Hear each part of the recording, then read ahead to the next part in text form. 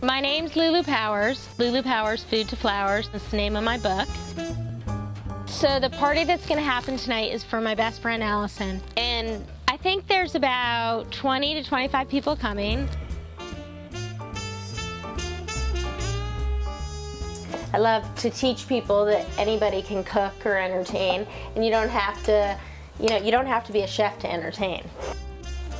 Mm, these are good. Okay, these are good. Throughout the book, there are all different little tips. Tips from outdoors at your house, checklist to having stuff ready if anybody stops by, to flower arranging. I'm all about pretty too. I want it to look lovely.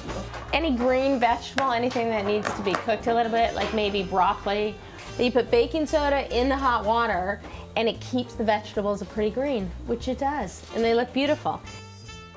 I always keep some fresh lemon juice in the refrigerator in a squeeze bottle.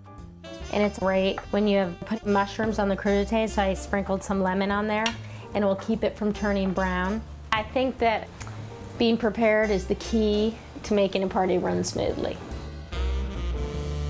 This is called Lulu's Entertaining Cheat Sheet, and it kind of sums up all the stuff that I've talked about throughout the book. Yes, so we have food, we have music, we have miscellaneous, we have decoration, drinks, and the 22 minute countdown. Okay, let's do the 22 minute countdown because we're there right now. Are the candles lit? Check. Uh, is the bar set up? Yep, check, check. Do we have the music on? Yep. The wine encore? Check. Outdoor lights on? Yep. And is the bathroom clean and stocked? Check.